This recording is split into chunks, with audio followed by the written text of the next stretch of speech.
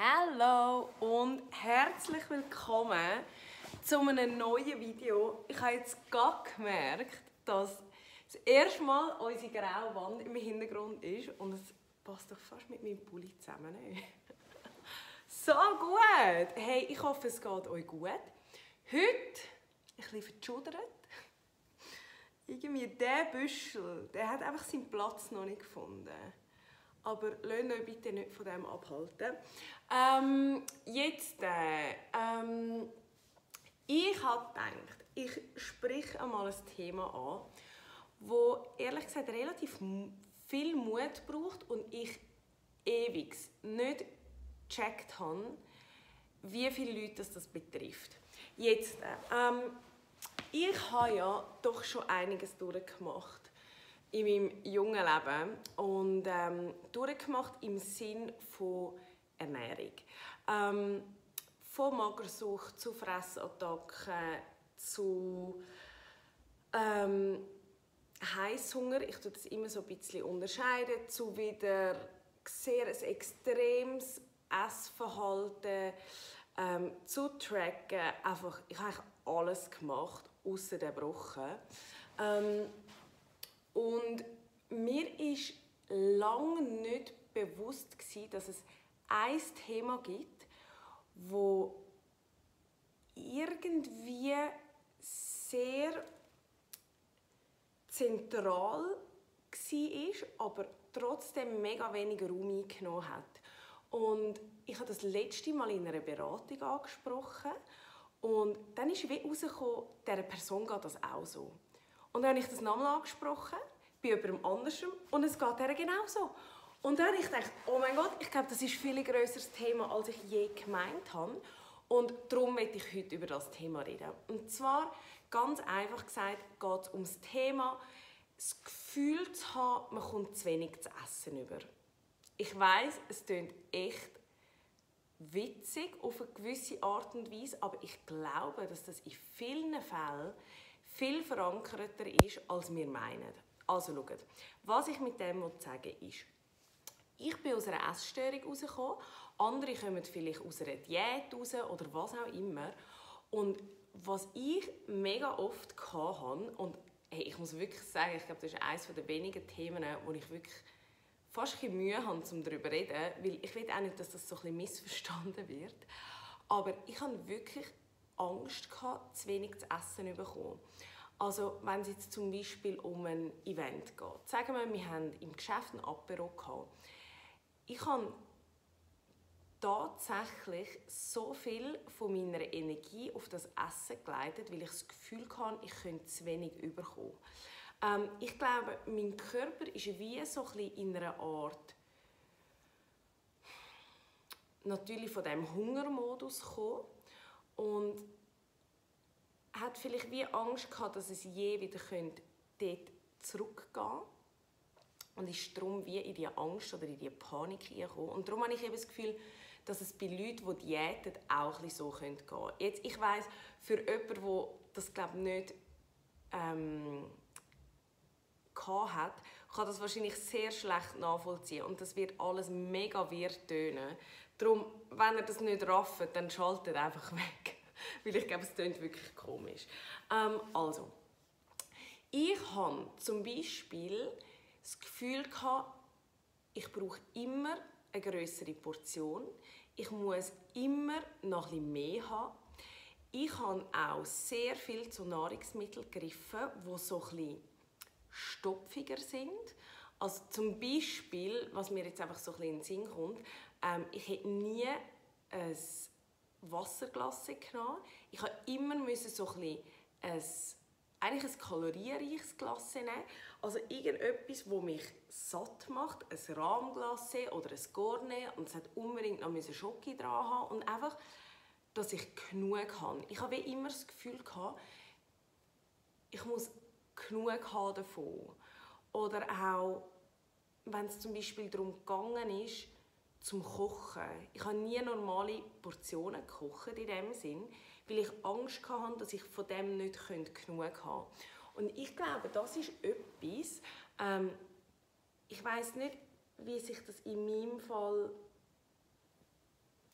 so wirklich ergeben hat, weil ich habe mir ja mega lange keine Gedanken um das gemacht.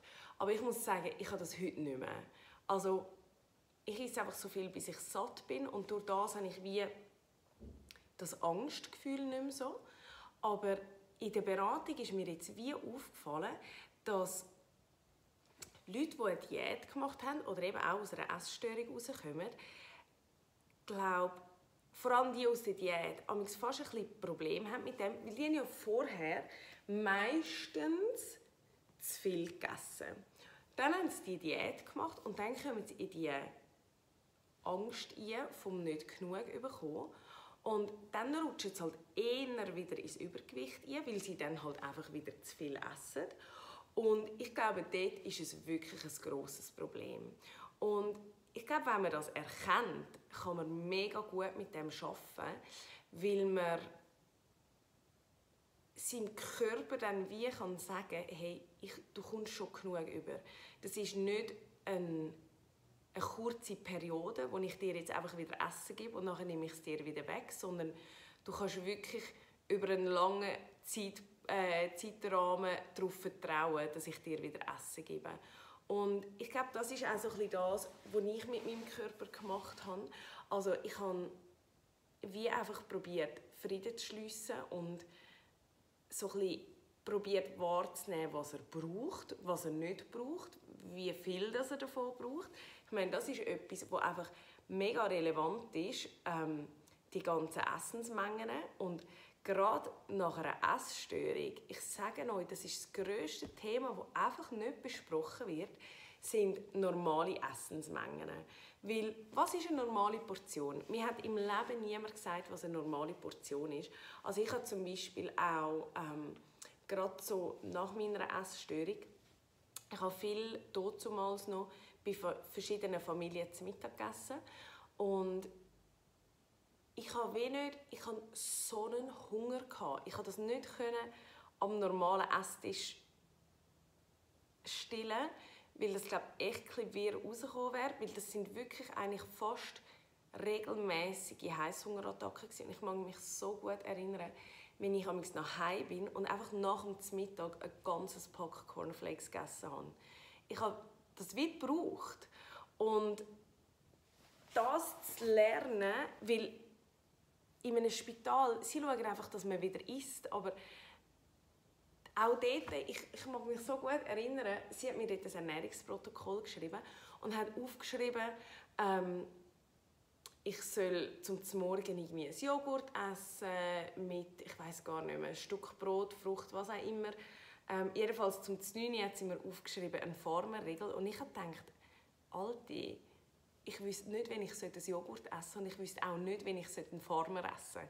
Weil das ist das allerletzte, wo ich mich würde getrauen Und es hat mir viel mehr gebracht, wäre man auf meine Bedürfnisse eingegangen und hätte die Nahrungsmittel aufgeschrieben, die ich mich getraue, aber dafür in Mengen, die auch Sinn machen. Weil eben, ich bin eigentlich vom Undereating ins Overeating gegangen, also von viel zu wenig zu viel zu viel zu völlig Falschen, dass es mir genauso schlecht gegangen ist wie vorher. Und das ist eigentlich das, ja, was ich mega gerne thematisieren und auch dem mehr Gewicht schenken. Ich weiß halt einfach nicht, wie viel das, das da außen tatsächlich dann auch interessiert. Darum, wenn ihr irgendwelche Fragen habt zu diesen Themen, stellt es wirklich. Ich glaube, eben wie jetzt auch bei diesem Thema, es gibt mega viele Sachen, die ich nicht mehr so mich mag daran erinnern, so aktiv. Aber wenn ich danach gefragt werde, kommen mir die Erinnerungen wieder. Darum stellt wirklich Fragen, wenn ihr irgendetwas zu dem Thema wissen wollt. Und äh, ja, eben, ich glaube, wichtig ist einfach, dass man dann lernt, was sind normale Portionen. Egal, ob ihr aus einer Diät kommt, aus einer Magersucht, aus einer Bulimie, was auch immer, aber einfach die normalen Portionen. Und ich muss sagen, ich finde, Einkaufsberatung ist perfekt für das, weil dort kann ich euch das genau aufzeigen. Wir sind zusammen im Migro, wir schauen alle Produkte zusammen an, wir schauen Mengen davon an und so kann man sich wie ein Bild machen. Ich kann euch wie die Herdöpfel zeigen und ich kann euch etwas darunter vorstellen und ich finde, das hilft mega, mega fest, weil anders ist es einfach schwierig. Die andere Möglichkeit wäre zum Tracken, also zum Kalorien ausrechnen Aber dort passiert es einfach mega schnell, dass jemand ins andere Extrem rutscht, dass er nicht mehr wegkommt von dem. Und darum ist das eigentlich auch nicht die Lösung. Aber äh, ja, ich glaube, das, was ich euch mit dem Video sagen will, ist, ich weiß nicht, ob es einen Tipp gibt, jetzt gerade so, zum aus dieser Angst rauszukommen. Aber ich will euch sagen, ihr seid nicht die Einzigsten. Und vielleicht sind ihr euch das lange nicht bewusst gewesen. Und vielleicht kann ich nur jemandem da draussen so einen Aha-Moment verschaffen, und dann sagen, wow, scheiße, krass. Ich habe Angst, zu wenig zu essen bekommen. Aus welchem Grund auch immer. Und das ist das, was mir so wichtig ist, dass wir wie achtsam sind, was das anbelangt. Also egal, eigentlich auf unseren ganzen Körper, auf unseren ganzen Geist, egal was wir machen oder ihr macht, machen wir es mit dem Bewusstsein. Und ich glaube, wenn wir das würden in unserem Alltag umsetzen, geht es uns so, so, so, so viel besser. Ich sage auch in der Beratung immer, ich verbiete niemandem irgendein Lebensmittel, auch mir selber nicht. Aber ich esse es immer mit Bewusstsein. Also ich sehe jetzt gerade da hinten zum Beispiel liegen ähm. Und ich finde, man sollte alles können essen weil ich esse die, aber ich mache das bewusst. Früher habe ich packigenweise können Süßes essen, ob Kuchen, ob Gutzli, Schoki, was auch immer. Ich habe das gestopft und ich war wie in einem Blackout drin. Und das habe ich ich habe gerade letzte probiert darüber nachzudenken, wenn ich das letzte Mal eine Fressattacke hatte, weil das ist Jahre seither. Und das ist wirklich so etwas, wo ich euch so gerne näher bringen würde, dass er das Essen anfangen zu schätzen. Also, dass er aufhört zu stopfen und aufhört zu hungern und euch mit den Nahrungsmitteln anfangen auseinanderzusetzen. Was tut eurem Körper gut? Was tut eurem Geist gut? Was tut eurer Seele gut? Ähm, tun Essen mit Liebe zubereiten. Essen mit Liebe und nicht einfach zum euch bestrafen oder zum so viel haben negative Gefühle beim Essen und das will ich eigentlich unterbinden oder hoffe, ich kann ein bisschen einen Teil dazu beitragen, dass er das nicht mehr machen oder weniger machen. Und darum, ich glaube, so ein bisschen der abschließende Satz ist, nein, es ist nicht ein Satz, ich glaube, es sind etwa fünf Sätze, aber mein Tipp ist, esset bewusst. Esset, bis ihr satt sind. Überesset euch nicht. Esset das, was ihr gerne habt, weil durch das verschwindet das Verlangen danach. Es wird nicht mehr so speziell sein und durch das verliert es auch seinen Reiz. Ähm, habt nie Angst, ihr kommt nicht genug über.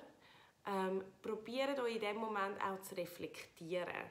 Weil auch wenn ihr in dem Moment nicht genug überkommen würdet, in unserer heutigen Zeit kommen wir überall zu essen über. Also auch wenn ihr an einem Event sind, an einer Hochzeit, wo es zu wenig zu essen gegeben hat, ihr werdet nicht sterben, wenn ihr einen Tag mal zu wenig esst oder ihr geht dann halt einfach noch irgendwo her. Wenn ihr merkt, hey, es geht wirklich nicht, ich habe wirklich noch so fest Hunger, könnt ihr auch mal ein Glas Wasser zum Beispiel noch trinken. Oder geht dann halt noch an eine Tankstelle, wenn es ein absoluter Notfall ist. Aber kommt weg von dem, ähm, wie soll ich sagen, von dem Unkonzentrierten. Also wenn man ja in dieser Situation innen ist, kann man auch nicht mehr so gut Gespräche führen und sich unterhalten und so ein bisschen das Soziale geniessen. Ähm, probiert wegzukommen von dem. Probiert euch auf eure Mitmenschen, zum Beispiel jetzt an so einem Event oder im Restaurant, wo auch immer, ähm, zu konzentrieren, das zu geniessen. Und ich glaube, es wird von Mal zu Mal besser werden. Das würde ich mir auch mal wünschen für euch. Also, ich hoffe, das Video hat eben, wenn nur jemandem da draussen geholfen, würde ich mich sehr freuen. Und äh, danke vielmals, habt ihr zugeschaut. Wenn es euch gefallen hat, gebt dem Video mega gerne einen Daumen nach oben. Und vielleicht habt ihr ja sogar Lust, um diesen Kanal zu abonnieren. Dann könnt ihr das hier unten machen. Und äh, wir sehen uns beim nächsten Video. Danke vielmals fürs Zuschauen. Habt euch Sorge. Tschüss!